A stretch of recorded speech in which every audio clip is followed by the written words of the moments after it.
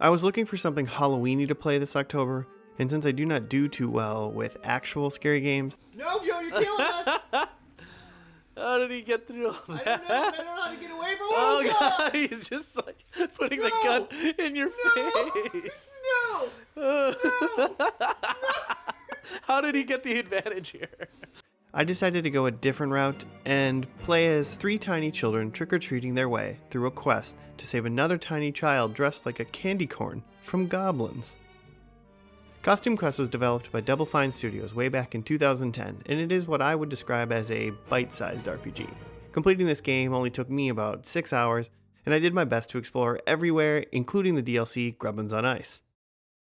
You start off your Candyfield journey as one of two siblings, Wren or Reynolds, who are both extremely eager to go collect some sugary treats from strangers. You pick between these two as your main character, and subsequently you choose a much harsher role for the other. I went with Wren on my playthrough. After picking a leader, you head out into the neighborhood of Auburn Pines and head over to some nearby homes in search of candy. At one of these homes, you are greeted at the door by a Repugian soldier named Gus. Gus surmises that Reynolds is a giant piece of candy and he kidnaps him. You chase and confront the Grubbin soldier just as he throws your brother over the massive, scary looking gate. Either from participating altruism or just the fear of parental discipline by not returning home with your sibling, you enter your first battle.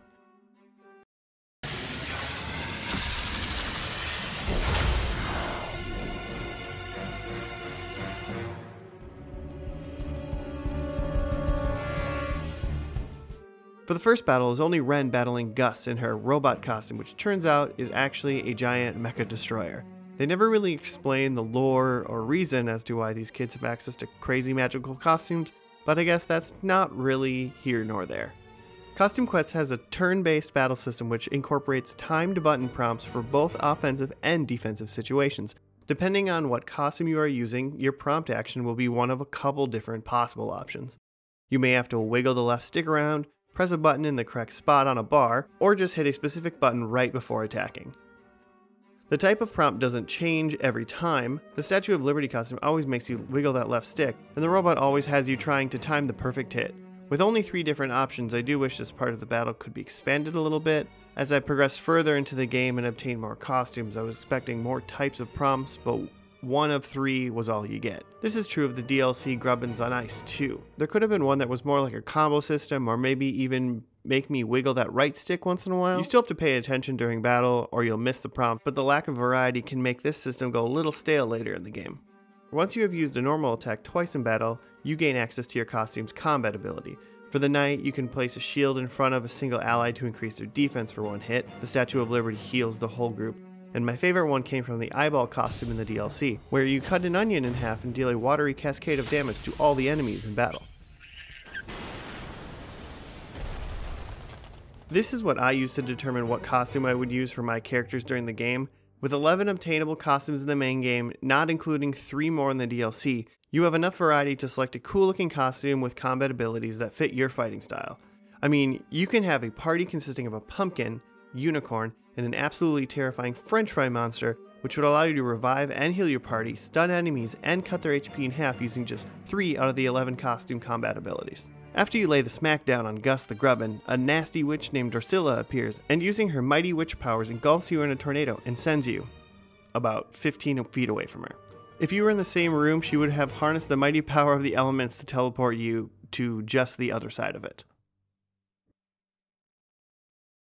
Despite her weak teleporting powers, she did manage to take Wren's costume from her, leaving her powerless to stop Dorsilla and save Reynolds. For about 30 seconds, then a nice black cat finds a costume pattern which shows Wren the three items needed to construct her robot costume again.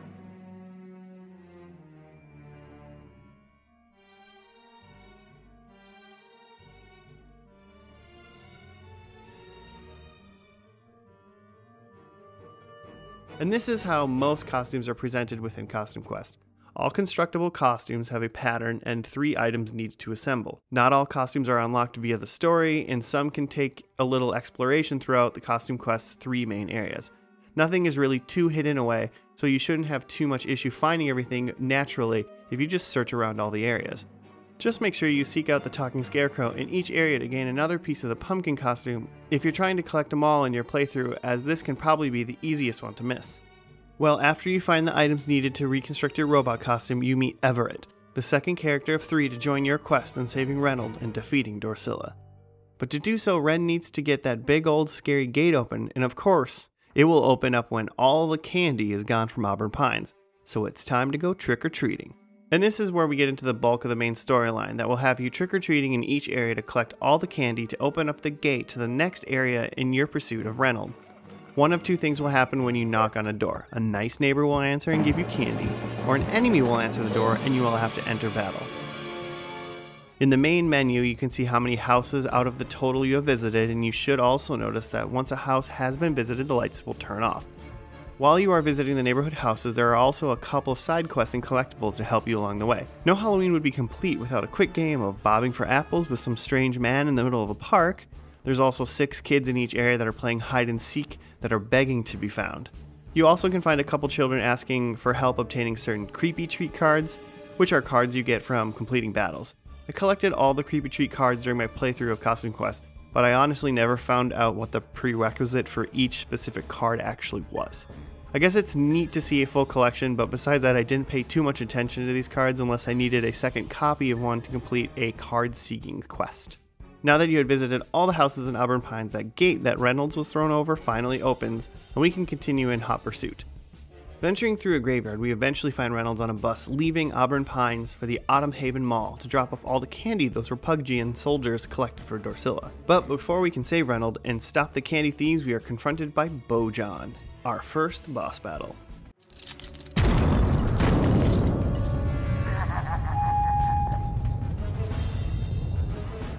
Normal battles in Costume Quest are very straightforward, and they don't usually require any actual strategy, but if you come into these boss battles ill prepared, there's a solid chance that you will find yourself on the sad end of a defeated screen. With level 10 being the highest level you can hit in the main campaign, it is rare that you're going to find yourself under leveled for fights, but a bad combination of costumes and battle stamps can leave you in a bad spot in harder fights. What are battle stamps, you ask? They are stat slash boosters characters can equip to give you a little specific boost in battle.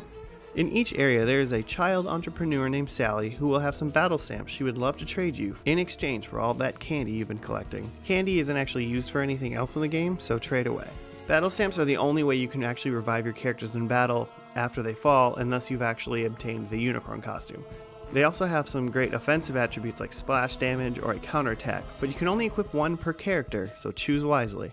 After Bojan and his megaphone are put down, you head over to Autumn Haven Mall, and surprise, surprise, the monsters have taken over.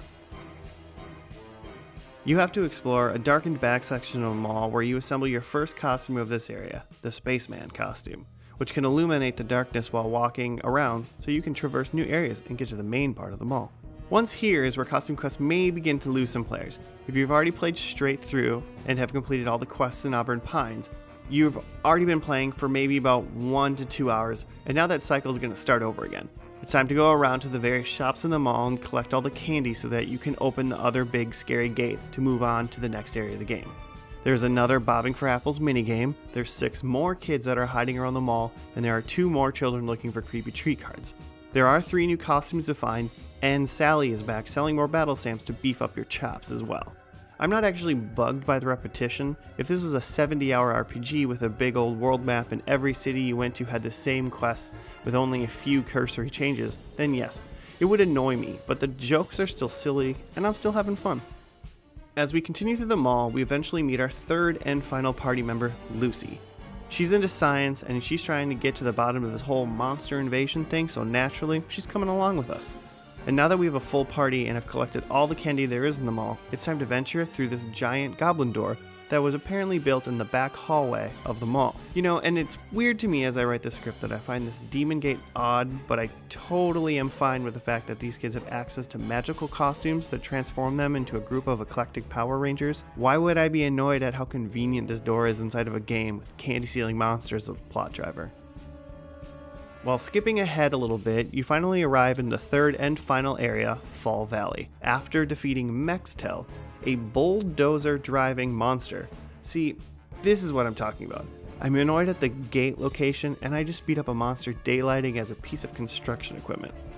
Well, when you arrive in Fall Valley, you once again have lost access to your costumes and you have to steal them back from the Birdmen by seducing them with french fry smells and gain access to the fair that's happening nearby. After you gain access to the fair, it is back to business as usual like the two previous areas. Collect the candy from the houses, have a chat with Sally, purchase some battle stamps, and continue to bob for apples at an Olympic level. At the end of Fall Valley, you finally catch up to Dorsilla, and it's time to show this baddie who is the true costume wearing, candy eating conqueror. It's us. Before the battle begins, we learn that Dorsilla plans to take Reynold and us back through a magic portal to a world where they will be given to Big Bones to satisfy her debt and therefore let her become a queen. The battle with Dorsilla can be challenging if you don't come prepared, as she can split herself into three, dealing more damage, and trap one of your characters in a cage, leaving that character unable to heal or fight until you free them. After the battle, a sad and defeated Dorsilla warns you to leave her alone, but of course, we're not going to do that. And after I saved my game, like all knowledgeable and fearful RPGs do after a boss battle, she summons Big Bones to aid her in defeating you.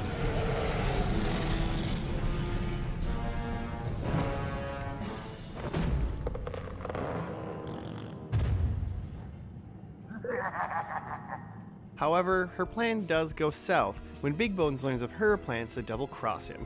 This, however, does not stop the giant skeleton from his desire to eat the kids. Big Bones has a number of AoE attacks that hit hard, which makes him a dangerous foe. I was defeated once in battle this entire game, and it was during my first encounter with this boss.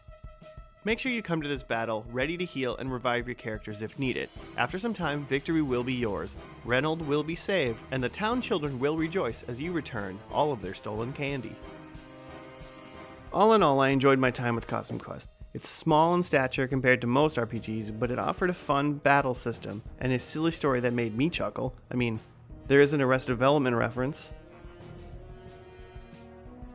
If you're looking for a smaller RPG to fill up your time for a week or a single play session for those of you that have discovered how to order food directly to your doorstep through the power of modern technology, then I would check it out.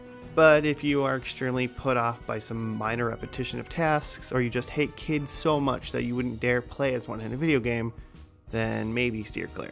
And with that, I thank you all for watching, and we'll see you guys sometime in the future for another video about games or something. But until then, keep your sword sharp.